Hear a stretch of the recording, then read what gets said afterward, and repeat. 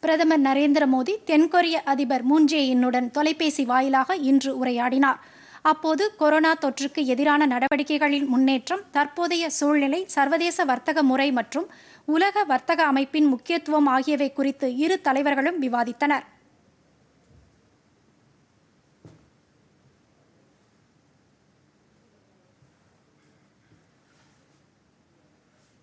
மேலும் இரு நாடுகளுக்கு இடையேயான ஒத்துழைப்பை மேலும் வலுப்படுத்த இரு தலைவர்களும் ஒப்புக்கொண்டதாக மத்திய அரசு தெரிவித்துள்ளது.